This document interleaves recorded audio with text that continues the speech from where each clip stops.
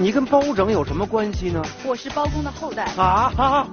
这是国家一级文物啊，至少是五百万。老家碧玉。老家碧玉？不不不，姑娘，小家碧玉。花了多少钱拍到的？四百六十万。哇！它是人民币的币王。这件东西应该是一件非常难得的，至少一百五十万左右。如果您猎取大象、割取象牙，都是严重的违法犯罪行为。一比一的在故宫里仿制的，可以以假乱真。拿着什么东西啊？这，哇，这个太高了，这，这有多高？做了多久？更多精彩内容尽在我有传家宝。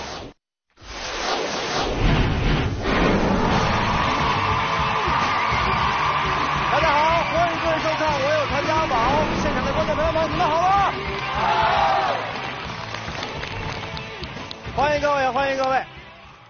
今天呢是端午佳节，首先祝各位节日快乐。这次来呢没空手来，带了一些啊跟端午有关的物件。您看，有这个酒壶、酒杯啊，还有艾草，还有香包，这些呢都要发给我们现场的观众朋友们。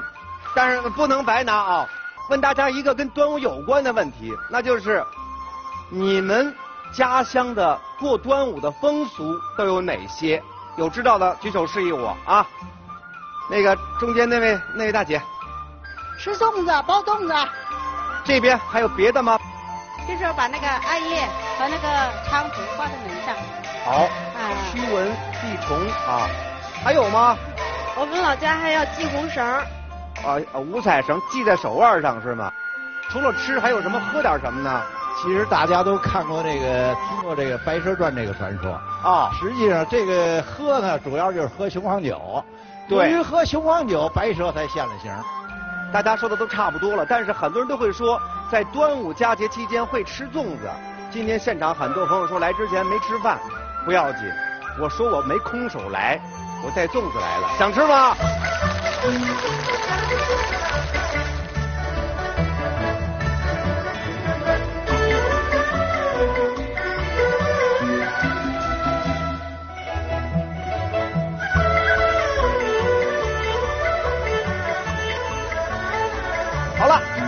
吃完了粽子，过节气氛有了，马上请上第一位吃饱人，来，掌声欢迎！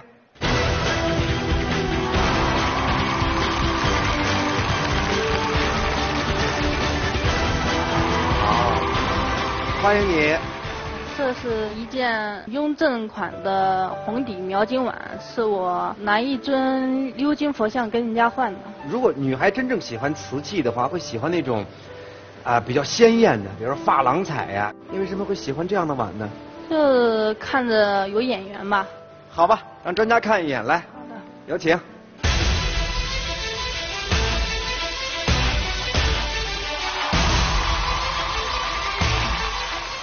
雍正瓷器，我们知道，雍正瓷器是中国陶瓷制作最精美的时期。雍正皇帝本人对御用的瓷器要求非常苛刻。这件东西呢，从它的这个器型来看，呃，和雍正的呃基本相同。无论从它的款制的写法和绘画的方法，包括用材用料、色彩运用的非常到位，堪称雍正时期的经典之经典。好，哎呀，真不错啊！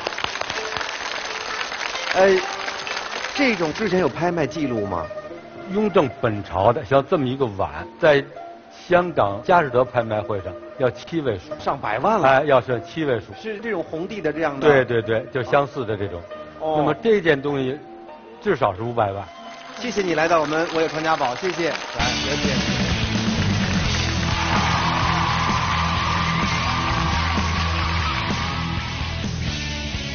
请出下一位持宝人。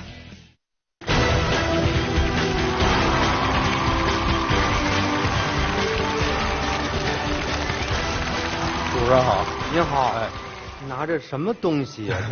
现场观众猜一下，这干什么用的？剪子，啊，美美发用的。这这家伙，美发怎么用啊？头上戳一窟窿啊？啊，烫发卷子啊？没人猜得出来。说实话，我也猜不出来是干什么用的。你揭晓谜底吧。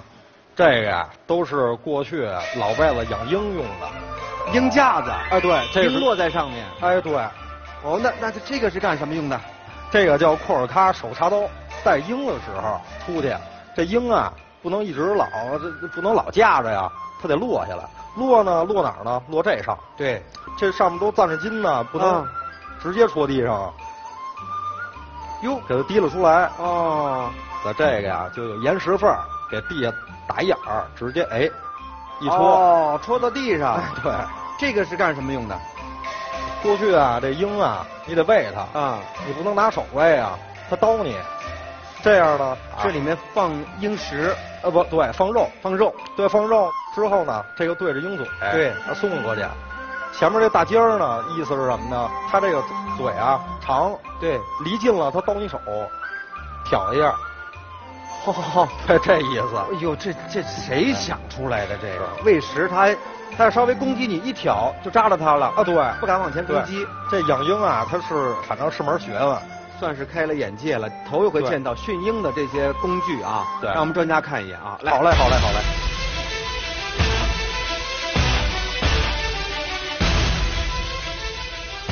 这一套工具呢，从它的制材到工艺的金属制法，它是用错金银的一种青铜的制法，呃，比较讲究考究，工呢比较精湛，它不是我们国家的。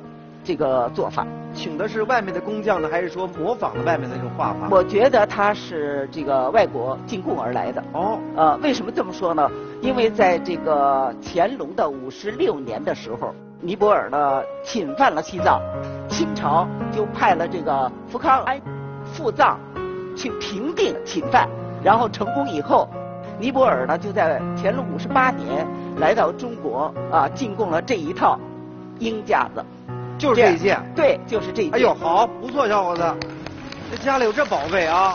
对，但是还是要多说一句啊，鹰隼呢是国家二级保护动物，告诫大家，不可以自己养鹰和驯鹰，那是违法犯罪行为。不过通过这个物件，可以了解一下我们的祖先是怎么样的一种生活状态。对啊，好，感谢你来到我有传家宝，谢谢你，好，谢谢。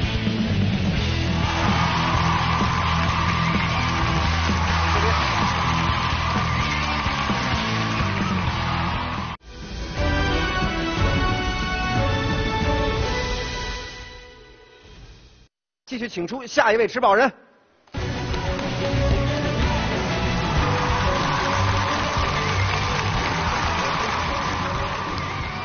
从哪里来？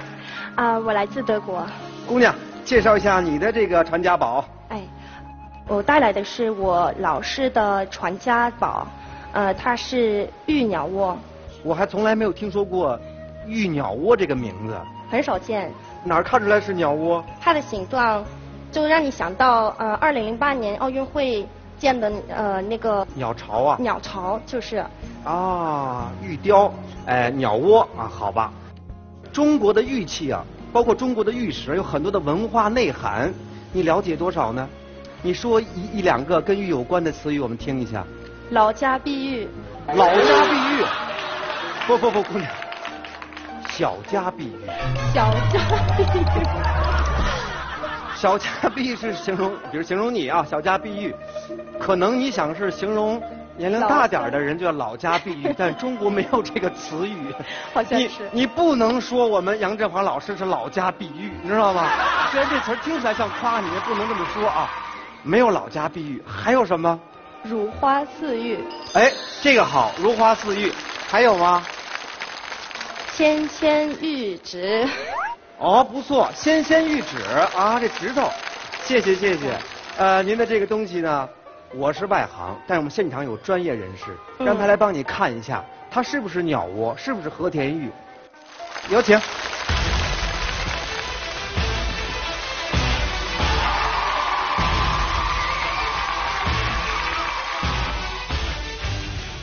呃，外国的朋友你好，你送来的这一个是。和田玉的，雕了一个不是鸟窝，是一个梅花形的一个杯。为什么我要说它是杯？它那个梅花枝跟梅花的梗雕做了一个坝。那么凡是碑旁边有坝呢，它就是碑。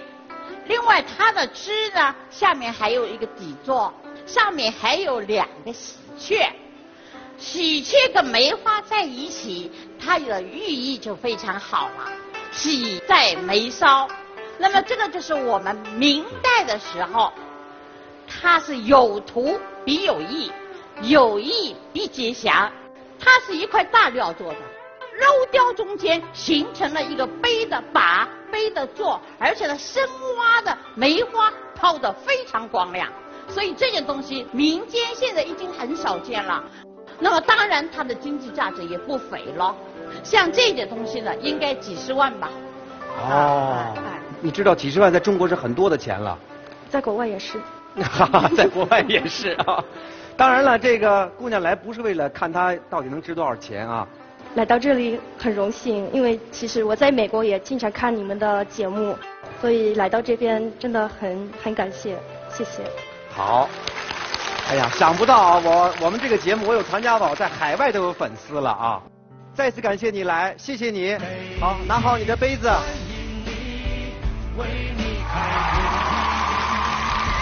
谢谢。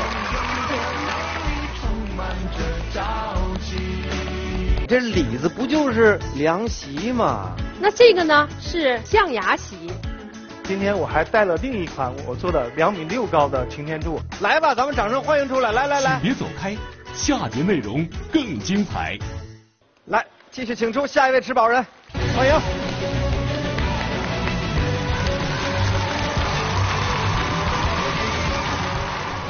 主持人好，你好，介绍一下您的藏品。这个呢是一个明皇帝儿四合如意云纹的云锦，完这个边儿呢是。红褐色的团龙纹暗花缎，这是面儿，这是个面儿。我们现在看一下里子吧。哎呀，有里有面儿啊。那个那个外面还是不错的，这里子不就是凉席吗？呃，这可不是一般的席子，那这个呢是象牙席。象牙凉席呀。象牙席在古时候呢。是没有现在这样的高科技的，那个时候要把一个象牙把它劈成片儿来编织成席子，工艺是非常难的。你看这个有八公分的这个边儿哈，它是犀角边儿。从它的呃制造工艺和它使用的这个材料各方面来看呢，它应该是呃很高贵的身份。我觉得应该是只有皇帝才能使用的。来到《传家宝》这个节目呢，我想听听现场专家老师的意见。好来，请五位专家一起吧，一起来鉴赏一下。来来来，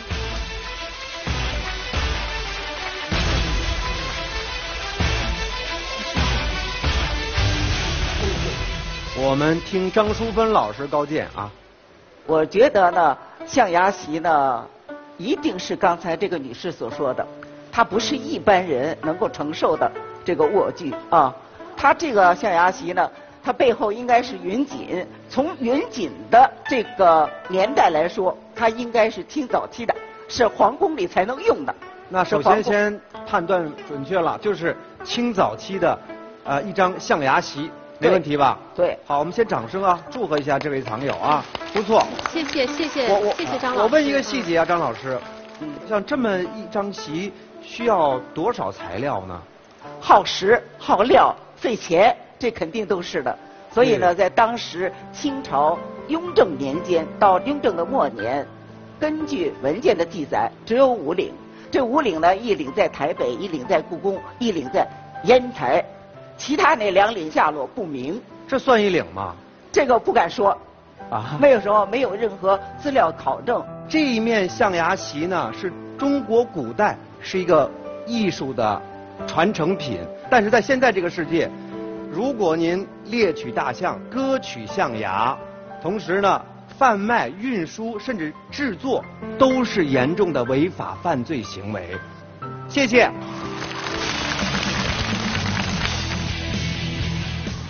来，我们掌声请出下一位持宝人。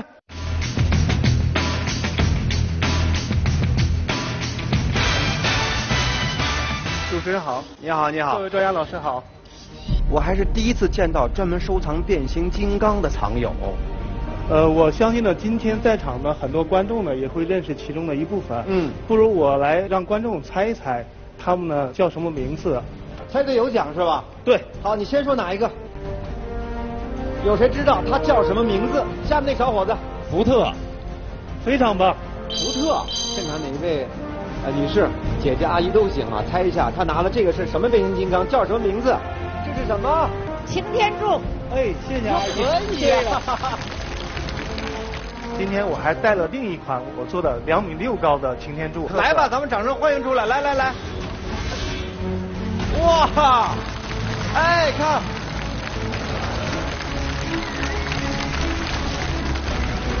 哇，这个太高了，这。这有多高？两米六高。两米六。做了多久？做了接近一年。一年啊！一年。你为什么想起来收藏变形金刚呢？首先我是八零后，我们那代的男孩子应该从小就看过变形金刚的动画。嗯。呃，但是呢，变形金刚的玩具呢，在当年其实是非常贵的。比如说这款深一系的擎天柱啊，它在八四年的售价是一百零八元人民币。所以呢，当年我们很多小朋友呢，既喜欢又买不起，包括我本人呢，也是上了大学之后，能够自己打工赚钱，才开始收藏这些奢侈品。电视首映的时候呢，我做的两款变形金刚一比一的雕像，在中国北京前门展出。你做的是一比一的变形金刚的，那得多高啊？呃，擎天柱呢是八米八高，大黄蜂呢是六米六高。哎呦，真不错呀！对对对。我认为呢，变形金刚呢，确实是一款收藏和艺术品，不仅仅是小孩子的玩具。好吧，我个人觉得呢，一个人只要真正的喜欢一件事情，愿意为这件事情付出，下很多功夫，一条道走到黑，就一定能见到有光明的那一天。再次感谢他，谢谢。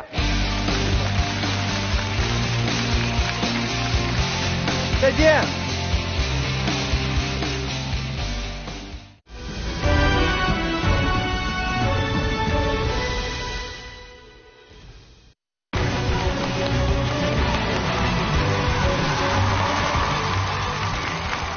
介绍一下你的藏品。呃，这个是明成化黄釉花卉盘。嗯。这个是我父亲呃在出差的时候买的。我父亲呢非常喜欢收藏瓷器。嗯。呃，家里呢也有很多他收藏回来的这些成品吧。呃，他买这些东西都对吗？刚开始的话，我觉得还是假的比较多吧。啊。可是呃这么多年过来了，然后也有一些真的东西。这话听起来挺无奈的。这么多年过去了，嗯、也有一些真的了。好吧，来那边啊，请我们王老师帮您看一眼，来。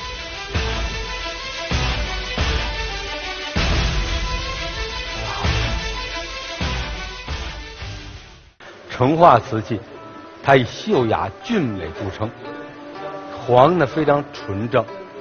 那么从这个款制的写法上来看，颇有成化时期的味道。但是，还有但是啊，这个盘子有很多值得商榷的地方。啊，比如说，这种黄釉虽然很黄，但是黄釉的质地里边似乎有很多脏的东西。那么这种脏的东西，也就是说是现代的化学材料，包括它的釉子底釉很白，得出一个结论，又是现代材料，应该说这件东西是一个仿品，非常遗憾。谢谢你参与我有传家宝，谢谢你来。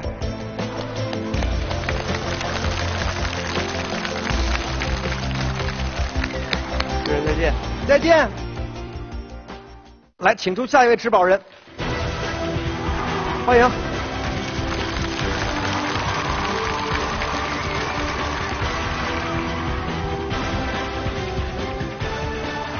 来介绍一下你的这幅画。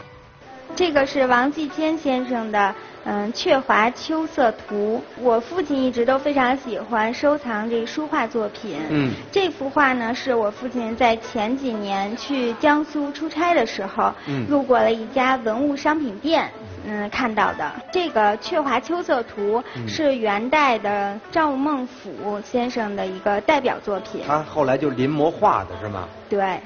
好，卢老师。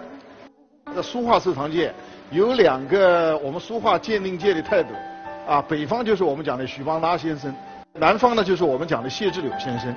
其实呢，在海外还有一个跟这这两位大师齐名的一位大师，泰斗级的鉴定家，这位大家就叫什么呢？叫做王继谦，就是这位画家。这幅画不但是他画，而且画的非常之好。那么刚才姑娘也讲了，他是学谁的呢？学元代一个很著名的书画家，叫做赵孟俯。王继谦先先生在画这个这个画不住山的时候和雀山的时候啊，他把元代人的许多非常优秀的一些传统技法都在这个山水画里面表现出来了。所以这张画应该说画的非常之好。去年一场拍卖会上，我我记得这张东西可能要二十万左右。差不多这样的价格是吗？差不多这个价格。好，当然姑娘呢肯定不会把这拍卖了，是吧？传家宝继续传下去啊，真迹无疑。谢谢。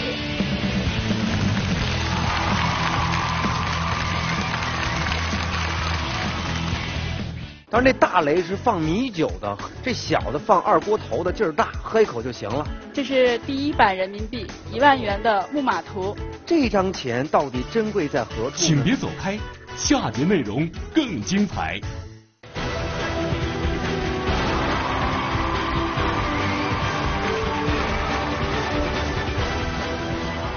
介绍一下您的宝贝。这件藏品呢，是我爷爷收藏的一件藏品。嗯。呃，是两个青铜的小雷，在我们家呢已经搁了很长时间了。呃，我印象中，我小的时候，呃，当过香炉，呃，当过烟灰缸，一直也不知道是做什么用的。后来呢，我长大以后呢，也是查了很多资料，后来发现呢叫雷，嗯，但是呢，呃，我查资料呢显示是酒器，我看人家那个都特别大，但是我们的这个感觉就特别小，有一些博物馆里的大雷，对对对对对，所以也是想请呃专家老师帮我们能看一下，酒量大的用大雷呀，酒量小的用小的对这个感觉喝两口就没了。当然，那大雷是放米酒的，喝个十斤八斤没问题。嗯，这小的放二锅头的，劲儿大，喝一口就行了。啊，也有这种可能。没有，那个时候还没有二锅头的，还没有蒸馏酒呢。对对对，我觉得很金贵啊。对，咱就别往上面拿了，让专家过来鉴赏。啊，那太好了，好不好？那太好了，来吧。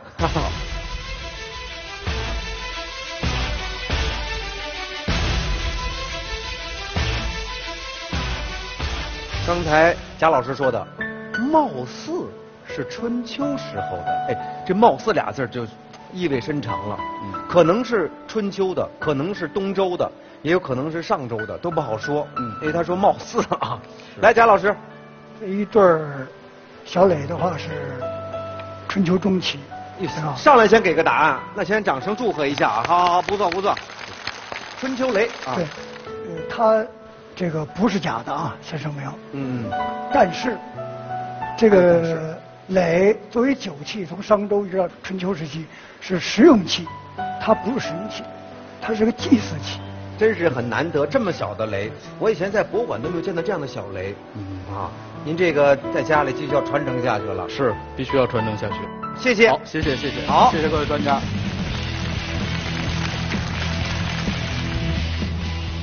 好，请出下一位持宝人。主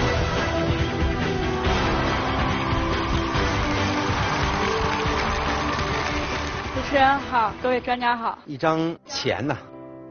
这是第一版人民币一万元的木马图。一万块钱？对。那个时候的一万块钱，在当时能买点什么东西啊？按咱们最常用的食物来说，一千元可以买一斤大米，所以说一万元可以买十斤大米。买十斤大米啊？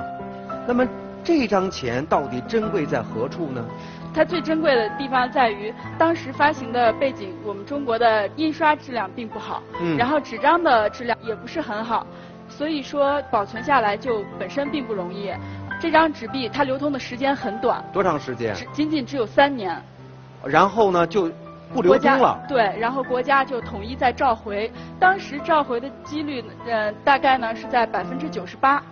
所以说，像这样品相的一万元的木马图能在流通领域中出现，已经是非常罕见的。那这张是怎么到？是你们家的传家宝吗？是我的大哥在二零一一年上海秋拍拍到拍回来的。花了多少钱拍到的？嗯，四百六十万。啊！四百六十万。四百六十万拍个纸币，是的，他是目前人民币的币王。让我们专家看一眼，好的，到底值不值这么多钱？来，捧好了，来，张老师。这张纸币是中国人民银行发行的第一套人民币木马的一万元面值的人民币，真币真的啊，真币无疑。好好好，花了四百多万拍回来的，对，这纸，这个纸币呢，从二零零五年逐渐从二十万、八十万一直拍到二一一年，呃，他这一张纸币拍了一个四百六十万这样的一个价位。为什么？为什么？啊，因为啊，这样的纸币流行的时间极短，所以呢，在流行过程当中保存是极为难的。这个木马图的这个一万元面值的，在全国保存完好的也就不过十个人，所以呢，它作为我们今天收藏能卖到这样拍卖的最高价四百六十万，是应该得到的。好，真不错啊！谢谢您啊，让我们鉴赏了这么宝贵的一张一万元。感谢您来到传家宝，谢谢。来，有请。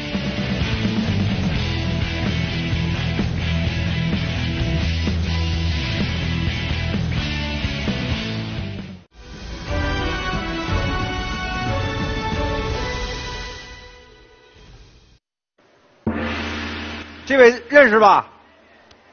包拯啊，包龙图，来，请出包大人。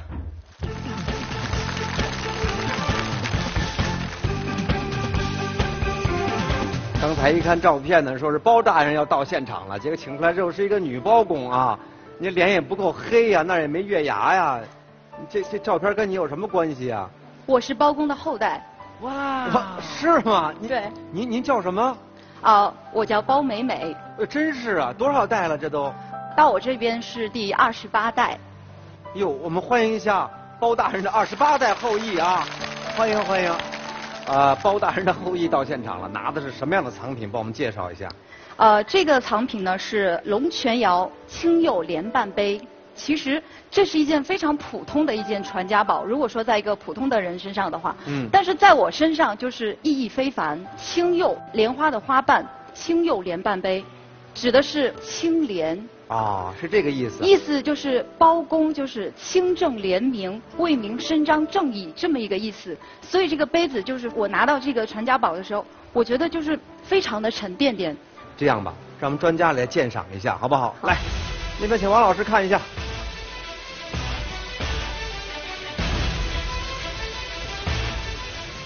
这个杯子呢，正如呃池宝安所说，的确是南宋时期龙泉窑所烧造的一个最普通不过的杯子了。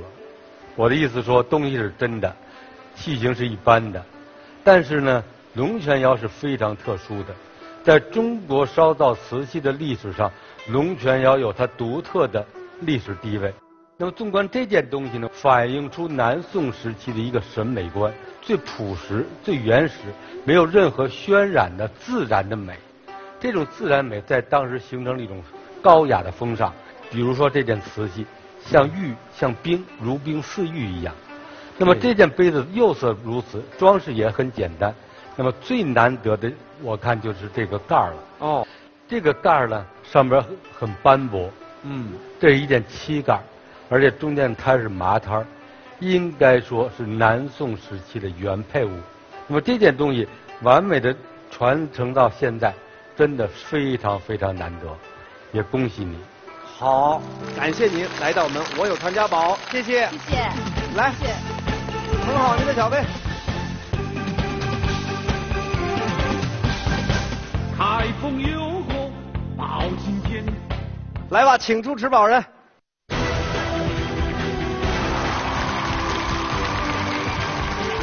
好，吕老师。欢迎你，翡翠啊。对。这谁送给你的？这是我结婚的时候我父亲送给我的。都有好爸爸呀。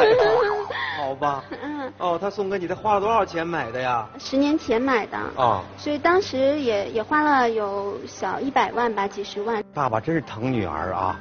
我爸爸当时买这个也是一个祝福吧，因为这个翡翠呢，它又是又很坚实，又恒久。对。然后呢，它这个又有趋吉纳福的作用，而且呢，它这个蝴蝶的造型，它是一个永恒真爱的化身。所以呢，爸爸就是用送这个给我呢，就是祝福我们的爱情天长地久。嗯。真漂亮，请我们杨老师看一眼，来有请。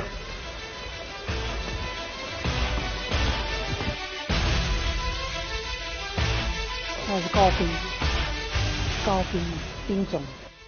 我认为你这个是种色水多好，多好就是颗粒小了一点，颜色稍微阴了一点，但是种气是属于老种中间的高冰，就是冰种比冰种还要强一点，我们现在就称它是高冰。那么你这里呢是一对是一个是手手链。一个是项链，一个是戒指，一个是耳坠，正好是个套装啊。那么这一套东西呢，旁边还有很多小钻，小钻镶的也非常得体，这种镶工艺不得了啊。所以你这套东西值得收藏。哎呀，真羡慕你，好爸爸。这个大概现在能值什么价钱呢？啊，当时是百万左右买的是吗？呃，不到百万。不到百万，他说现在。那个时候是几年前的价格吧？对。嗯。你现在恐怕。不止一百多万了，对，还是应该不断的在翻倍呀。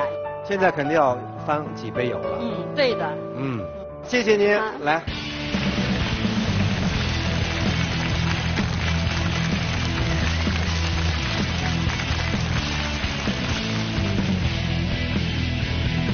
抽烟不好吧，关瑶？对呀，我就是拿过来提醒你们的。扬州人有一句话叫做“丑八怪”。呃，大家安静，听我摇一下。请别走开，下节内容更精彩。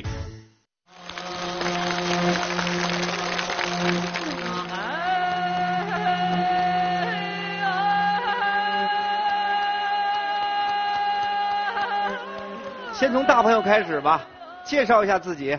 三百喽，我是来自内蒙古锡林浩特阿布嘎旗的，我叫阿紫呀。好，你叫什么？我叫关瑶，今年八岁了。我的老家是在内蒙古，但我出生在北京。哦，这帽子也是您带来的这些藏品传家宝的一套是吗？对对。哦，我明白了，这是谁戴的帽子？我妈妈的上都是王爷的后代，我们是，就是我舅舅是，他在家里全是那个宝宝藏的东西。你舅舅收藏的传家宝，对对对对，嗯，这是过去王爷带的。对对对，王爷带的。哦。哎，这还有刀啊！嗯，这上面还带俩筷子。对，这出门也带着。带着。人这个拳呢，出门带着碗筷呀，这。把你们祖上有位蒙古王爷。啊，对对对。一代一代传下来的。对对对。官窑，你带的是什么呀？我带的是一个古代时候抽烟的工具，是烟袋。抽烟不好吧，官瑶？对呀，我就是拿过来提醒你们的。六月一号开始。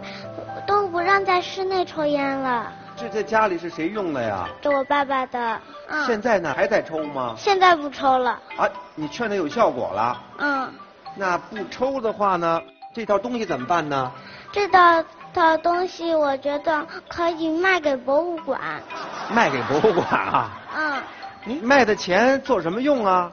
一部分要给我弟弟交学费。哎呦，这这穷人的孩子早当家。给弟弟交学费。嗯。好，不错不错。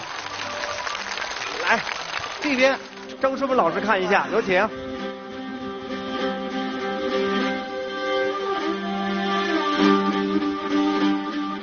张老师，他那个那个烟嘴儿啊，是什么样的玉石？那个和田白玉。和田白玉，烟杆是什么木头？应该是红酸枝。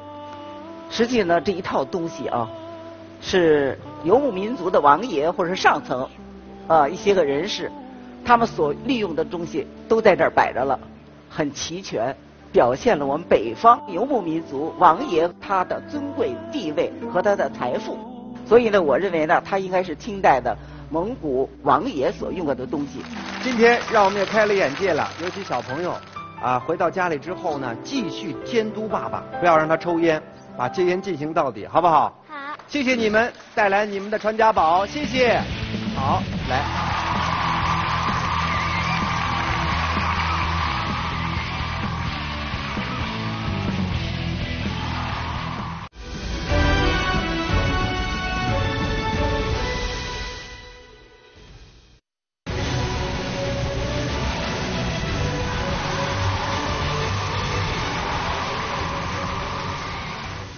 幅画，对，一幅画，这是清代扬州八怪之一的边寿民的作品。这画是自家里传下来的，再传是我爷爷的画，因为我爷爷呢就特别喜欢书画，然后这幅画是三十年前爷爷是和一个书画的一个好朋友进行交换换回来的一幅画。来，卢丽老师，小伙子，你拿来这张画呢是边寿民是吧？对，上面写的边寿民的款，他是扬州八怪的画家。那么为什么？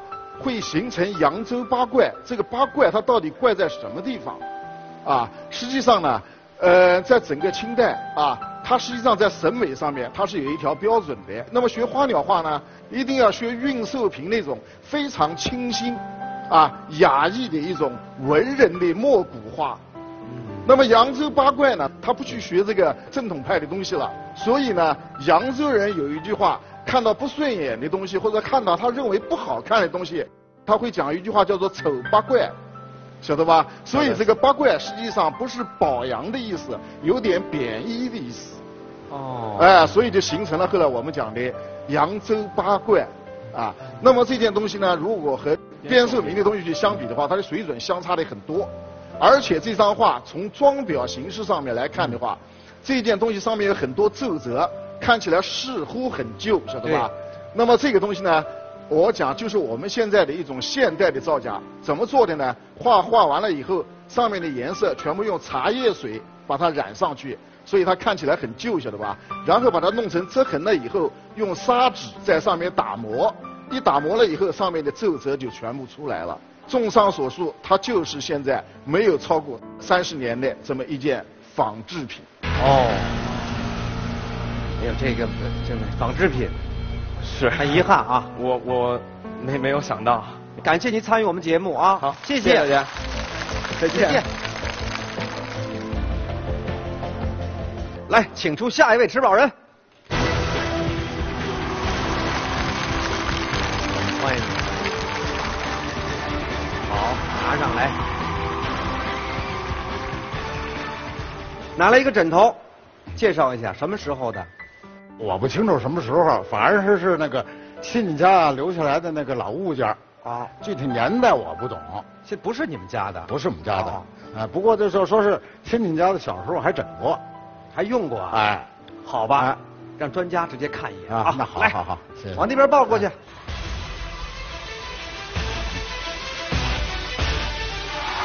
好。刚才这位朋友说呢，是老物件，说对了。是老物件，这件东西呢是北宋时期的东西。好，北宋时候非常好的一件东西。呃，大家安静，听我摇一下，能听到吗？里边会哗啦哗啦响声。什么东西啊？哎，里边有一块泥。这枕头做的过程中，做好了以后，装饰好以后，用一个工具把这给捅破了。烧造过程中呢，不能因为里边的热气排不出去而炸开。那么捅的时候，这块泥就进去了。进去以后，随着温度的变化，它也烧熟了，也磁化了，所以里边像是一个瓷枕里边一个芯儿，放起来能哗啦哗啦响。这往往是在鉴定宋代瓷枕的一个方法，嗯，也可以说一种小诀窍。那么这个器型是典型的北宋时期的。器型，那么这种装饰的风格呢，我们称之为珍珠地儿，又称之为鱼子纹。上面这个凤凰，在珍珠地儿的装饰器皿当中很少。那么这个窑呢，按照以往惯例来说，都是会说是登封窑。但是根据我的研究，我发现它的装饰技法远远高于登封窑。我认为它应该是。洛阳西边的新安窑所烧造，这件东西应该是一件非常难得的艺术品。根据我的经验，嗯，那么这件东西至少应该在一百五十万左右。好，哇，一个枕头这么值钱啊！好，谢谢谢谢谢谢谢谢谢谢。谢谢王老师，谢谢老师啊，好，抱稳了啊！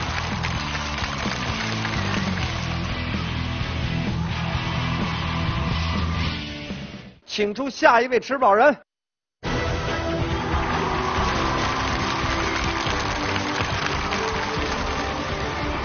好，欢迎，来放到这上面。您这东西从哪儿来的？给我们介绍一下。呃，这个是一对铜胎画珐琅的烛台，嗯然后是我结婚时候父亲送给我的。为什么送一对烛台呢？因为古时候就有人生四大喜事有洞房花烛夜，所以这是一个很好的一个寓意。也想专家也看一下。好吧，嗯这铜胎画珐琅，这是很好的一个技艺了。这是其实是中外一个艺术的相结合的作品啊。让我们专家看一眼，来拿好您的烛台。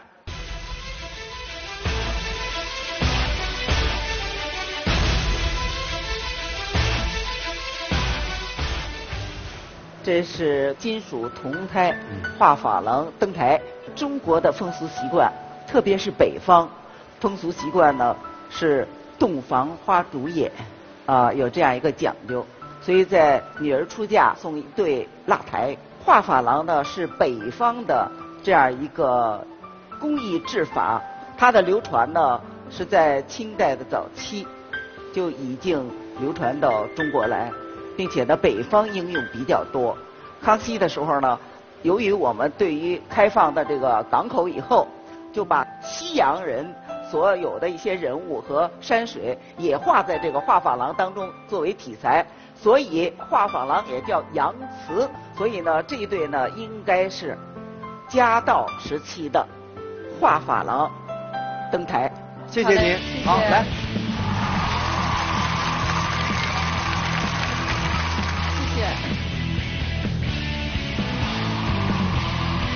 它已经被定为国家一级文物。这是国家一级文物啊。对对。您看仿的怎么样啊？仿的非常好。可以以假乱真吗？可以以假乱真。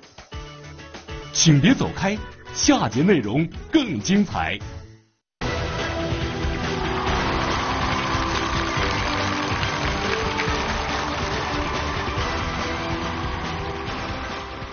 来介绍一下你的藏品。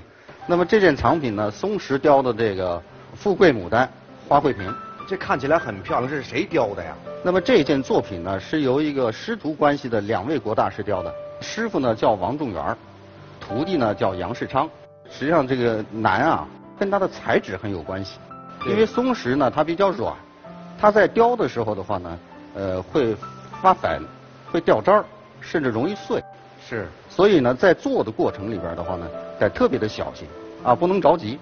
估计这两位师徒啊，做了很长时间吧？嗯，大概是设计到制作完成大概一年多。这得需要一个多么平静的心态，对能雕出这样的作品啊！好，杨老师，这件绿松石呢是天蓝色为主的，而还有很多种是深绿是带体现的。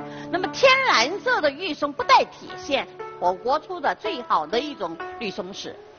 我看了梅花上面是一对喜鹊，就喜上眉梢；牡丹花上面是一对白头翁，我们说就是富贵白头，都是有吉祥的一种含义。这一里头的纹是鸟是动的，动态美；花是静态的，但是它一静一动配合的相当得体，应该说是近代的工艺美术中间的极品。谢谢谢谢谢谢杨老师。看到这个工艺大师两位师徒的作品之后呢我有一个什么感觉呢？我觉得经常看这样的东西啊有静心的功效。对。可以平心静气。对好也感谢你来到我们我有传家宝谢谢你。好谢谢谢谢。谢谢。谢谢。请出下一位吃宝人。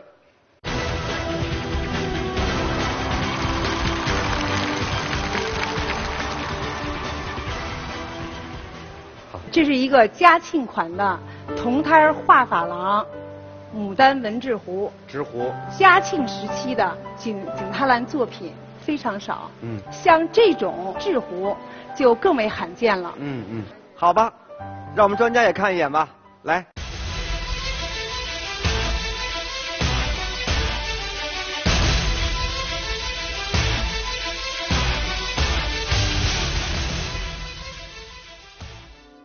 这个作品呢，造型、线条、釉色啊都是非常优秀的。呃，它代表了嘉庆早期画珐琅的特点，呃，并且呢，它继承了乾隆时期的韵味儿。这件东西虽然有嘉庆年款儿，造型也和我们故宫的嘉庆年款画珐琅瓷壶是一致的，但是这件东西。啊，是我们在六十年代末、七十年代初为换取外汇，一比一的在故宫里仿制的嘉庆年间的纸壶。仿制的。仿制的。哦。并且呢，如果说你根本在我们库房里没有看到过真的嘉庆的纸壶，你可能就认为它是真的。您看仿的怎么样啊？仿的非常好。可以以假乱真吗？可以以假乱真。哦，原来是一个仿制品啊。在仿制品，刚才专家也说了，仿的很漂亮。我们是仿制了。当年钱美华老师带着他的团队多次去故宫博物院高仿了一批景泰蓝的精品。当时呢，很多的这工艺大师呢，仿制这些东西呢是出口呃赚取外汇啊。但也有一些呃比较经典的作品就留下来，成了你们的馆藏的这个镇馆之宝了。好，各位有时间的话去南花看一下，我们北京的景泰来博物馆还有很多更好的这样的收藏品等着您来一一来鉴赏啊！再次感谢您来到我有传家宝，谢谢您。好，来拿好您的宝贝。谢谢，谢谢。好，谢谢。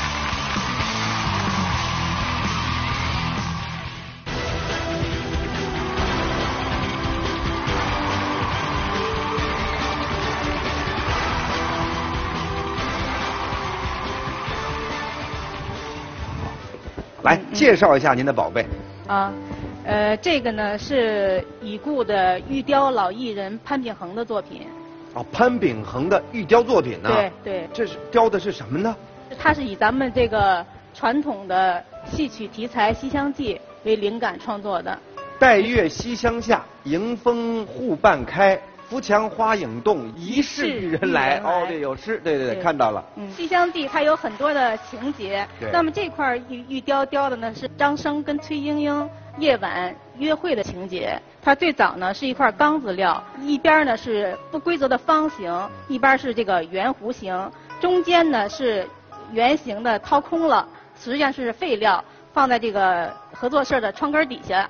一九五六年的夏天，老艺人呢发现它了，然后呢就把它拿到了这个工作台上，脑海里立马显现出这个张生跟崔莺莺在这个月下这种约会的这个场景。变废为宝，是，很漂亮啊。这东西它的来历是怎么回事？后来呢，成立了北京市工艺美术博物馆，那么这件作品呢，变成了我们博物馆的一个藏品。二零零六年的时候呢，它已经被定为国家一级文物。这是国家一级文物啊！对对。哦，那看来真是难得一见了啊！对。好，杨老师，您说。这件藏品非常漂亮，它上面那个玉呢是新疆的碧玉，新疆碧玉它有黑点的特点，但是黑点不多，那这就是证明它是新疆的和田碧玉。那么还有呢，这些东西好在哪里？它是有多种的雕刻工艺汇集在一起，一个是人物是圆雕，嗯，整个这一件是双面工，墙上是透雕的花窗，那就是透雕工艺，还有盛开的花卉，它是生佛雕，把多种的工艺的特点配合在一起，所以它的艺术效果更好，可以说是国宝级的一件艺术品。嗯，好，不错，值得收藏。据我所知，二零一二年在北京的一场拍卖会上，拍过一件潘秉恒大师的珊瑚雕龙凤纹壶作品，最终是两百三十万的高价拍出。感谢您参与《我有传家宝》，谢谢您。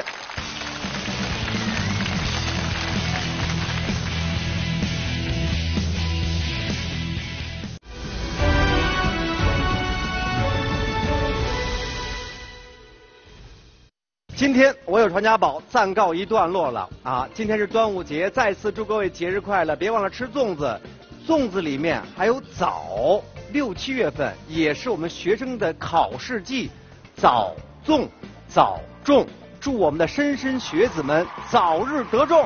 下期我有传家宝再见，谢谢。